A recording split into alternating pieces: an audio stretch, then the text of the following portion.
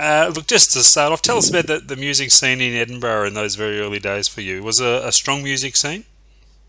Uh, there was. I, I played in uh, a, a, bunch of little bands that, you know, I met people at school and we had little kind of, uh, uh, like kind of clones of other bands, you know, like a Holly type group, group like the Hollies and a group, you know, different, different kind of um, beat group imitations, that kind of stuff.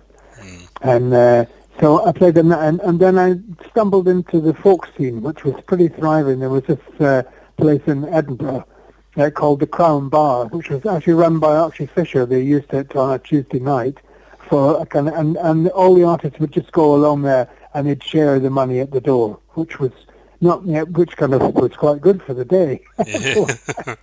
for the time. And um, of course, the bar liked it because they sold a lot of beer. And Archie kind of, kind of ran it, but uh, Robert and Clive were in there right from the beginning, and uh, and Bert Jansch and uh, who else was in there? Um, I, I, a couple of people right from the early days. Yeah, Hamish Imlach, and uh, you probably don't know him, and a, a few other uh, people of that time. And later on, it expanded, and you got the, uh, you know, um, various other people that you would know. David Graham was in pretty early. Yeah. So, so that was where you met met Robert and Clive for the first time. Yeah, yeah. I, I, I was playing the rock but I went on Tuesday night as a kind of audience member and and watched this thing. And they, they had a lot of uh, Irish people, you know. Uh, Archie had a lot of friends on the folk scene. He, he at that time he ran the Travelling Folk, which was a Radio Scotland folk program, which was very good uh, weekly, and that gave everyone a lot of exposure. Anyone who was doing concerts or had a record out would want to be on there. So we've got a lot of people. So was there a um, an initial blueprint for the, the sound you wanted for the Incredible String Band? Well, at that point, um, the, the, the the point of crossover was when Robin and Clive uh, saw me in the audience there. They knew that I played guitar, and they, they because they did solo instruments. You know, Clive did like banjo and whistle, and Robin did like, all kinds of stuff. You know, but but they wanted someone to strum and, and form, you know, so that, that's why they wanted to form a trio really, so they could have because the two of them were more uh, soloists, you know, and they, and they wanted someone just to hold it down while they did stuff. And so uh, they had auditions for somebody to join, and uh, I, I was not the first choice. Ah. but the first choice uh, turned it down because he, he thought they were just a bit too weird. so, so I, so I got in by default, and we said, and so so uh, we all went round to Robin's flat and played together, and they kind of liked the the combination, you know. Mm. So that was how we formed. so looking through the catalogue of the band, can you pinpoint an album or, or a time where it, it really gelled together and became the band that, that, that you wanted it to be? Sure. Well, with the first album, uh, String that's that's what we when, when we formed together, the three of us, we just toured around all the clubs, all the folk clubs, and it was very popular because they'd been very popular, but the audience just stayed about the same at the Crown Bar. You know, it never really got mobbed or anything. So when we went on road, it was very successful and because uh, and the, the folk clubs were used to people doing like uh, uh, you know the, you know the kind of repertoire at that time that was kind of Joan Baez songs on your own and things you know it was it was and they were rather different to that it was I guess it was more like a jug band sound which was not really heard of over here. Uh, in America it probably wouldn't have made much of a splash but uh, here here it was very popular. So the first album is a representation of that really. That's the that's the act that we're doing. Uh, hmm. but when we got into the studio to make the first album, uh, Jac Holzman, of course, in America, was not really that interested in us doing covers of uh, jug band songs or, you know, like uh, uh, classic kind of folk stuff from America because he could get that by, by the million. so uh, he he encouraged me and Robin to write, and I had a few songs already I'd written, and Robin uh, did did a couple for the album, and Clive had one, he'd, he'd, which was Empty Bucket Blues. so he did that. But really, really, Joe pushed us because of Jac, I think, because of what he wanted. Joe Joe pushed us in the studio to do uh, more original material, and that's uh, they can slot in a bit. But in the middle of it, also you've got Clive banjo stuff, and it's pretty much the act we're taking round that one. Yeah. Now, Joe Boyd was both your manager and producer. And in general terms, how did you find him to work with? What, qual- what qualities did he bring to the table? Uh, well, well, to start off with, he, came, he was a scout for Elektra. Well, that's what he said. He was actually, but also, have you read the, the book at all by him? It's really quite interesting. Uh, no, I haven't. No, but I believe it is a wonderful read. Yeah. It's a, it's an interesting book, yeah, because um, basically he was employed by Jac Holzman at Elektra to come over here and promote the people they had, like Tom Rush and Judy Collins, you know, that would, hadn't really made their mark over here. So that was the job he was given. But he turned that job into uh, being a bit of a, a producer. He'd never really produced records, I don't think, before. He did the, the Pink Floyd single, um, uh, See Emily Play. Oh, yeah. Yep. And, uh, and Arnold Layne. Uh, that's kind of a double single. And he was hoped through that that he would get to produce their first album, but they went to somebody else. And he, he didn't get that, so that fell through. So he kind of, uh, without actually saying in so many words, he presented himself as a kind of American producer who'd been sent by Jac Holzman to scout for talent, which he hadn't really been. But he didn't say it in so many words, but he came up to Scotland and introduced himself, and we, we played the repertoire, and then we went down to, and recorded it. So he, he was right in there from the beginning, really, from the beginning of the string band, certainly. Now, your second album, the, the, the 5000 Spirits album, received incredible reviews at the time of its release. I think there were even there were some comparisons to, to Sergeant Pepper's. Um, do you, you, recall how you responded to those reviews at the time? Did it put pressure on you to uh, to deliver the goods next time around? Uh, no, well, not really. It was, uh, what happened was after the first album, uh, Clive and Robin uh, kind of uh, said, well, that's it. We, we've, done, we've made our album. We're now off. And Clive went off to Afghanistan and, and India. And Robin went to Europe, to, went to Morocco. And so the band just folded completely. And Archie Fisher, who ran the the, the uh, Crown the Crown Bar uh, Folk Club, got me some gigs on my own round. Uh, and so I did a tour around around Britain on my own with a, kind of harmonica, like Alan Dillon, and did his songs and, and some of my stuff and did a kind of solo act, thinking that they weren't going to come back, and I kept the rock bands going. And then Robin came back after Clive, Clive disappeared into the, the depths of India. So Robin came back in about six months, and uh, and with all these instruments, and fired with uh, a new enthusiasm for this kind of welding. Uh, well, the kind of Moroccan music and just world music in general into the Celtic kind of repertoire and also writing songs in that mode, you know. So he was the he came back with all this energy and ideas, and meanwhile I'd written a few some a bunch of songs, and so we got together and played together, and it was really good. And then uh, Joe got us into the studio, and that was um, that was uh, the Chelsea sessions. Have you heard that? Yep. Mm. Yeah, that that was us playing for Joe what we were thinking of making the next album of. So then at that point he kind of thought, well, this is really interesting. Let's take it away from folk and you know try and get them on a concert circuit, you know, and and just make it a different thing. And he brought in different people to play with us, you know, like Danny Thompson, and you know, he he he started then really molding us in a direction that he thought would give us a, a bigger canvas, put it that way. In terms of instrumentation, you were very experimental in those days, a whole array of, of, wonderful instruments that you used. Did you actively go out seeking a diverse range of sounds like that?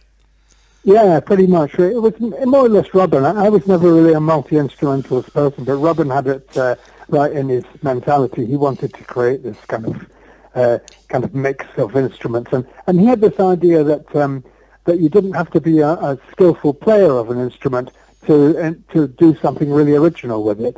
That was his kind of idea too, mm. and he he liked the idea of kind of just like using all different sounds to make a kind of canvas of things, you know, a network of of sounds and things. So that was kind of interesting. But he, he was definitely the. I was I was more guitar kind of guitar obsessed, acoustic guitar and electric too. Uh, guitar was obsessed and a little bit plonking at keyboards, you know and a bit of harmonica, but, but I was more guitar and, and, and he was more multi-instrumentalist. Yeah. I read a quote the other day describing uh, your working relationship with Robin as uh, one where you developed a robust dislike for one another. Would you agree with that? no, no, definitely not. No, no, no, that's not right. So that, that that's I think bit... there was a certain, there was a certain kind of rivalry in that we didn't want uh, either of us to get the bulk of the songs on an album. Yeah. but that's about as far as it went. Because uh, how, how we worked in the early days, uh, once Clive had left, is I would write a song and I'd just go around uh, to Robin's place or he'd come to mine and we'd sit and work on it together and, I, and he would um, do all the embellishment to the song that I brought to him and then he would bring a song to me and I would try to do the same. But I didn't really have the scope, which is why I started doing the sitar, to, you know, to add a bit to his stuff, because he was doing so much for mine that I felt like I could only do harmonica, keyboard, and guitar, really.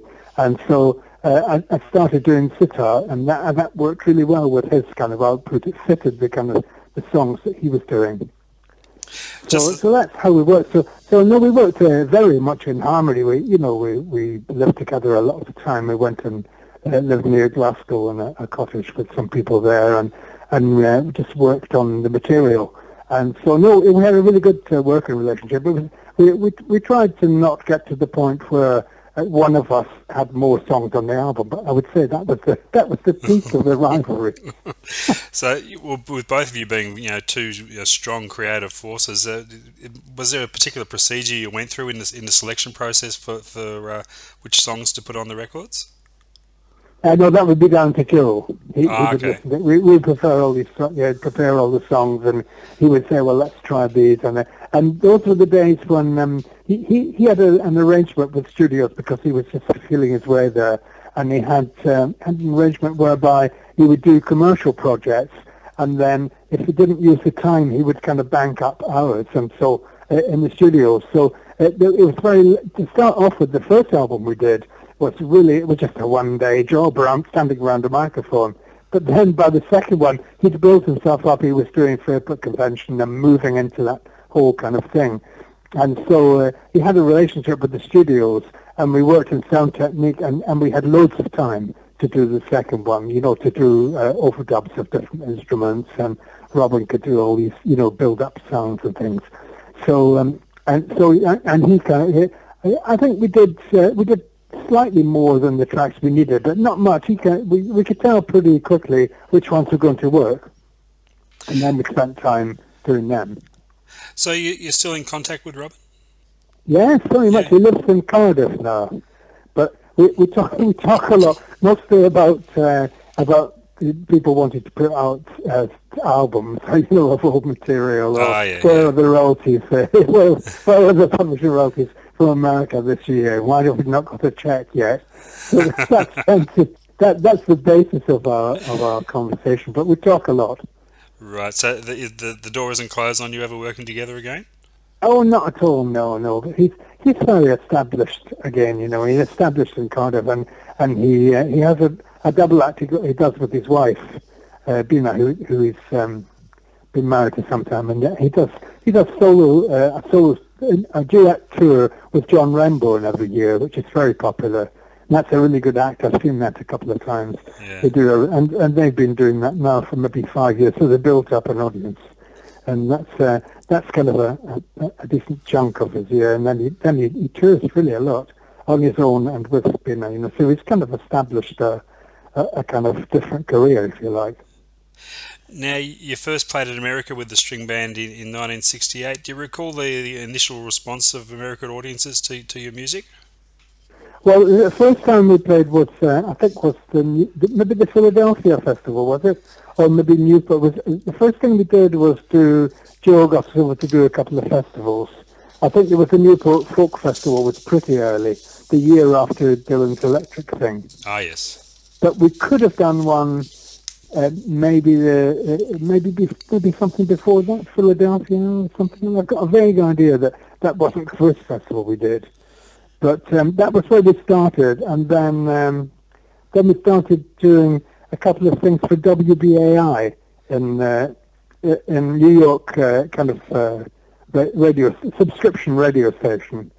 And uh, they they kind of adopted us a bit, and we did a charity concert for them uh, for Bill Graham in New York, and then that kind of uh, we kind of moved from there really, and uh, we we uh, but we, we started off with festivals, and then we continued. We got onto the concert scene quite quickly. And of course, one festival you did play at was Woodstock, although not many people would realise that because you, are not in the movie. I believe there were some serious uh, weather issues that uh, turned your whole Woodstock experience right, upside down. That, that's uh, that's described also in Joe's book. He's, he's got he's got a whole thing about that. But um, yes, that's what it was. It, what it was really, we, I didn't really, we didn't really know, Robin and I either, until we read the book, Joe's book, that he didn't really like the girls at all. He always thought he quite liked them, which shows how dumb they were, really.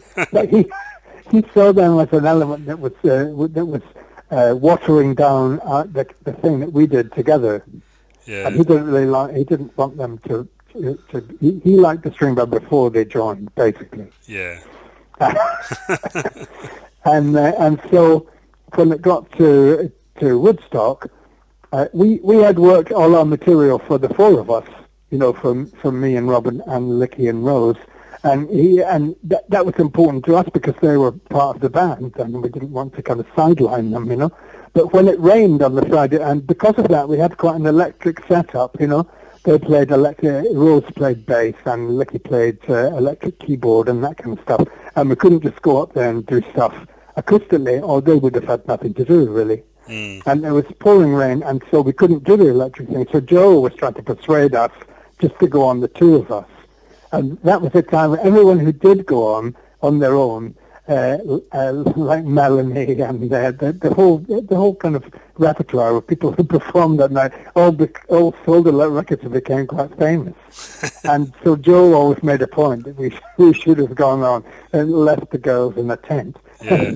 and then we would have been more. But it was, you know, it, it, life doesn't work like that. No, that's right. So that's yeah. just a Joe theory, I think. and then by the time we got back, the the next to do our set, the next afternoon, uh, the, the, canned heat had been on. Everyone had had spent a night in, in, in total mud in their tents with no no food and lots of kind of low quality drugs. So by the time the next day came, all they really wanted was to boogie to canned heat. Yeah. And we came on after that, and we didn't really go too well. a lot of people seem to, to link the Incredible String Band with that whole uh, hippie culture movement. Uh, did, did, you feel a part of that uh, movement? Oh, very much. Yeah, absolutely, right in there. When we went, when we first went to uh, went to San Francisco, it would be I think 1968. It, it was just ridiculous, like going to another country. Everyone was playing bongos in the park, and there were coffee shops everywhere, and you know, it was just a, just a, a corner of paradise, really. And so we really, uh, you know, we, we grasped that with both hands. We could see the, the entire capitalist monetary system uh, dissolving into barter. barter. and uh, we could see the whole thing move, culturally moving on. Yeah. And so, so yeah, we really, we jumped into it, really. And then the next time we went to California, went to San Francisco, it was kind of a ghetto. Within about a year and a half, it had just completely gone, gone gone feral. when you started recording your, your own solo material, did you uh, have a clear plan of, of, the musical direction you wanted to take? Were you conscious of uh, distinguishing it from, from the, the work that people associated with you before? Uh, no, no, that's very much a Joe thing. But what happened, we, we did uh, we did Wee Tam the Big Huge, which was a, quite an epic, and Joe saw that as a you know that's a monumental achievement, really uh, double album, and it took quite a lot, and Joe was involved a lot in that. And then after that, uh, I took a holiday um, up in um, Russian River. I had some friends up there, and uh, so I went up there and I wrote a bunch of songs. And Robert, I'm not sure where Robert went, uh, maybe maybe over to Ireland, but we took a, a chunk of holiday after all that thing. And um, I, I came back to to Britain and and said to Joe, listen, I've written all these songs and I'd really, do you think we could do another album? And he, well, he said, well, I've just got this double one out. I mean, really, the, the, let me hear the songs. So he listened to them and he said, well, I mean, I, I don't know if that really fits to the string band, but why don't we, we craft an album? Because I know a lot of people really like your songs and I could make a few phone calls and see if we could get different people to do, uh, to play on each song. Like I'm sure some of the songs would appeal to different people. So I said, oh, that sounds a great idea. So that's how it came about. He just got got on the phone from his diary and contacted, because he had a lot of contacts then, because uh, as well as doing Fairport and a lot of bands that people respected, he was involved with um, uh, UFO, the, un, like an underground club in mm. London, which where the Floyd play, everyone kind of played there, you know. And he was kind of running it with another couple of people, so he knew everyone. so he just phoned a lot of people from Jimmy Page to um, to Pete Townshend, to all these kind of contacts, and uh, and so quite a few of them took on the project uh, to to come and, and do a track, you know, which was great. So really, it's really he crafted the, the, the people who played on each or suggested the people to play on each track. It's an amazing roll call of musicians on, on that record. And it's probably one of the great uh, forgotten classic albums of the era, I think. Oh, thanks. yes, I think it's an amazing album. It's really good. Now, you weren't really uh, high profile during the 80s. There was an extensive period of time where we didn't hear much from you. What, what was keeping you busy during that period? Um, yeah, not very much. I wrote a few, I wrote some stuff for Manfred Mann. It was Manfred Mann's Earth Band at that time, and he did three or four of my songs. Three, three of my songs then, and then the fourth one a bit later on. That, uh, that, uh, that were either written specifically for him or he picked up off, off albums I'd done. And uh, wrote for a few other people, Bonnie Tyler, and you know, just come and uh, and what I did do, I, I did um, I did a lot of demos. I was paid by publishing companies to write songs, mm-hmm. so I just wrote a lot of songs. And eventually, um, a, a, friend of mine who I, who we worked with on the demos a lot, Frank Usher, who who now plays with our band uh, Fish. It's, it's probably a different one from you. I think it's a different Fish in America, but he's from the British Fish. he used to be Mar- used to be the singer of Marillion. I don't know if you know that. Oh yes, yes, yeah, It's kind of a heavy rock kind of uh, genre, but he still lives uh, j- just a few houses away from me in the same uh, row of houses in the country. He's, he's just uh, he, he's on the same row, so he's there just now. He's he's got kind of break from uh, from fish gigs. But anyway, the two of us uh, read some couple of things in the papers about uh, Hugh Murphy, who produced uh, Gerry Rafferty. Yeah. Familiar with Gerry Rafferty's output? Yeah, for sure. Yeah. Well, he, he was the producer who uh, worked with him on, he did Baker Street and he did all the stuff afterwards. And he, uh, after Baker Street, he got kind of completely downused by all the record companies wanting him to make star, you know, make international stars of the people on their roster, you know, from everyone you could think of, you know. And he was just fed up with it. And, and he, in this article that, uh, that Frank and I read in, I, don't know, if, it was maybe um, NME or one of these magazines, and Melody Maker maybe. He was complaining that um, that what he really wanted to do was hear somebody doing something original and somebody who had a roster of songs that he could really breathe upon. So Frank said, "Why don't you get in touch?" So I did, and we, and we met for a pint in London, Hugh and I, and he said, "That's really great. Hey, why don't we try and get a deal and make an album together?" So we did, and we did it on Casablanca label, which unfortunately collapsed uh, a couple of months after we'd done it. oh no. but uh, it, it's an interesting album, and it's got all the it's got uh, uh, you know Hugh Murphy kind of studio everything, but the kitchen sink. Some of it's really very dated because yeah. it sounds a bit like Baker. You know, it's a, very big production numbers, but the songs are very good, and um, uh, that came out, and, and that's that's that was what what I was doing. That was seventy nine. That would be. 79. It's probably released in yeah. 82 or something like that. Now you um, reunited with Robin in the in the 90s and started working with, with him again. Were you uh, do you recall being tentative or hesitant about whether you could recapture the, the feel of what, what you once had? Yes, definitely. I think he was too. Yeah, I, I think a lot of it, how it started was that Clive wasn't getting any kind of work, and he'd, he'd, come, he'd come back from India yeah. and he'd made a couple of albums that were very popular, you know, with the new folk movement, you know, because it was kind of, they liked that kind of stuff. Uh, famous jug band, and he, a few albums that are quite, kind of quite prized by the people who find obscure albums, like, like Vashti's kind of stuff. You know, same yeah. kind of thing. Yeah. Same kind of thing. So, um, uh, so Robert felt sorry for him and, and wanted to do some stuff with him, you know. And so then uh, they, they, did a, a, a they did an album together actually, and then they did a bunch of gigs in small clubs.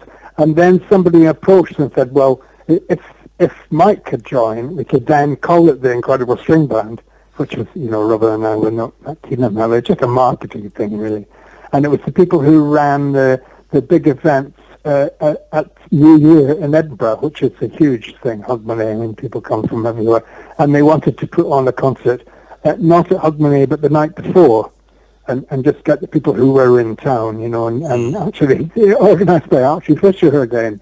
It's still around from the folk days. Mm. And so um, we got people like Billy Connolly and various people came along, and Bert Jansch played too.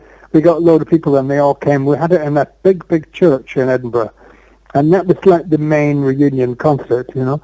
But it was, it was kind of a weird thing, really. It, was, it came out of uh, out of just uh, just Clive Clive playing with Robin again, you know, and, and to to give Clive work really, because he he was broke and living in, you know, and wasn't he hadn't really uh, he wasn't although he'd made classic albums, he wasn't really in the public eye.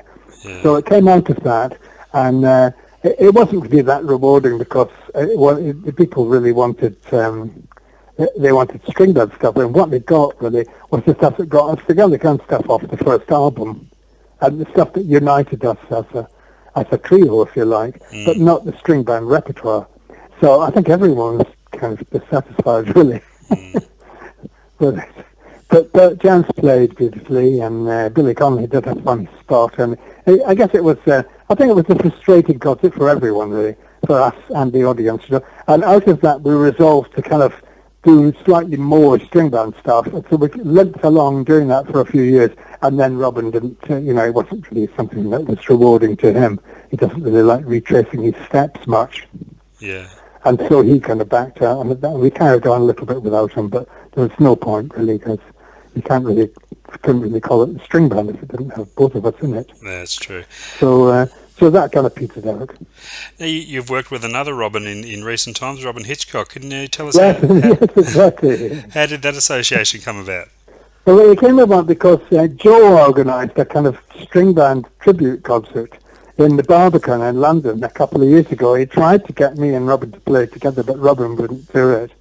And so it ended up with uh, all these people coming, and he got really unusual people, a bit like the Soul album. He got really unusual people to come along. One, and actually, Robyn Hitchcock was the musical director, which was a very good idea. He's very good at that. He's very kind of light touch, and you know, he runs things like he's having a party in his house. Really, it's a very kind of relaxed approach, and it worked really, really well. And uh, and Joe uh, suggested all the people really, and then then there was a kind of song grab, and the people the people who were slightly more famous got the first pick. Like Richard Thompson got painting box, which I would have liked. He said jealously. So, so that's the way these things work. You know? And it was a really nice concert, and we met a lot of people that we've kept in touch, and we've kept in touch with uh, with Robin, who who keeps kind of em- employing me and my daughter and the guys I play with now to do various concerts. I've done we've done three or four for him now. That's right, your daughter. So Jo- that's good. So we made a lot of contact, and we also made uh, a really good contact with uh, a Glasgow band called the Trembling Bells that Joe had approached. Haven't you come across them? uh, heard of them, yeah. Trembling Bells, yeah. Got, that was Joe's idea. We listened to the records and said, no, I, I don't think we can collaborate with them. Uh, they sound a bit different to us. And then when we met them, they were so charming and delightful, and they're now really good friends of ours. And uh, the, the singer, Eddie, is really, they're all really, really nice, and we get on great with them. And that was through Joe that we met them, really.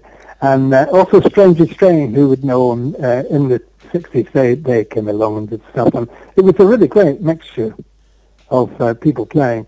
It was a really good concert. And uh, yeah, so that was how that worked out. So you, your daughter Georgia is also a musician. Tell us a little bit about. Yeah, uh, she is. Yeah, she, she uh, we brought her up in the borders here, where, where I'm phoning from. In fact, but then she went to uh, university in Newcastle, and uh, con- continued on doing that, doing a, a postgraduate kind of uh, course in piano playing. So she's kind of a classical pianist, really. But um, so she plays with me, and we use the guitarist out of Trembling Bells when he's not kind of he's kind of uh, busy just now because uh, they're touring with uh, Bonnie Prince Billy, doing a, they've done an album together, a combined Bonnie Prince Billy and and uh, Trembling Bells. So they're touring that just now. So we can't really get him at the moment. But he plays acoustic guitar with me, and uh, electric guitar with them. So it's a it's a, a four piece. It's a, me and Georgia and uh, and Mike plays uh, acoustic guitar, and then we use a, a fiddle player who's really good. So that's the kind of four piece that we do when we do get work. and just finally, before I let you go, Mike, upcoming plans? Anything on the on the horizon, recording wise? Possibly we could be hearing from you. Uh, not at the moment. No, we're we're kind of um, uh, we're stuck a bit by not being able to tour when the Cranberry Browns are touring, which is a bit of a problem, really. But we're not in that much of a demand anyway. so the people are not beating down the doors to get us to play, so it's not really, we don't have any festivals or anything. They probably have a few this summer. So uh, we just do odds and ends. The, the last thing we did in London was really quite interesting. It was a guy, you, you might have come across him, guy called Cass McCombs come across him? Uh, no, can't say I have. No. Mm, he's kind, he's kind of very cool. He's he's kind of uh, he's, he's very cleverly built up his profile. Uh, if if you if you internet him, you know, if you you you'll see lots of videos and stuff. He's he's he's kind of managed to build his career by being a kind of uh, San Francisco kind of vagrant who sleeps in people's. So that's his PR, you know. But actually, actually, they're a really nice young band. But he, he came to see a gig of ours in London uh, a year ago, maybe, and and then his his his guys got in touch and said, "Would you like to come and open for him on a couple of gigs?" And the second of the gigs uh, was a place called the Union Chapel in London, which is a great venue. It's very very prized venue. It's like a huge, it's like a cathedral, really, like a huge kind of uh, cathedral, and it's uh, but but it's it's actually a working church, you know. But it closes, it does concerts in the evening, and it's very, very high standard, you know, lighting and sound, and it's just very prestigious. So we said, okay. I no idea why he'd asked us really to do it, and then we did the two gigs, and we still had no idea because the music is very kind of different music to anything that we relate to, you know. It's it's very hard to describe. It's like kind of um, stoned out kind of Jackson Browne with uh, with a little bit of Steely Dan mixed oh, in. okay. And they're very kind of young, young cool kind of uh, San, San Francisco type guys. And I think that a lot of people like the records. The band he toured with actually was very kind of uh, a, bit, a bit slightly jazzy, too jazzy for some people. Three of the people in the band had met at Berklee during a jazz course, so uh, obviously they were really good musicians. But uh, apparently, the, the, I don't know the records that well, but the records are not that jazzy, really. And uh, I, I, know a few people over here are, are kind of uh, very keen on this stuff. Oh, I'll, I'll, be sure to check it out. Yeah, I think you might really like it. Terrific. Hey, Mike. Laid back from you. hey, Mike. Thank you so much for your time. It's been an absolute okay, honour. Okay, you're welcome. It was really nice chatting to you. It's been an honour to catch up with you, and um, we've got a fantastic festival season down here in the uh, first quarter of the, each year. So uh, maybe you can uh, put the put the word out, and we can possibly get you down here. We'd love to see you down here performing for us. That would be very good. I'd like that. It's a long time since I've been to Canada. Okay. Tremendous. Thanks very much. Thanks again, Michael. All the best. Bye. Bye bye.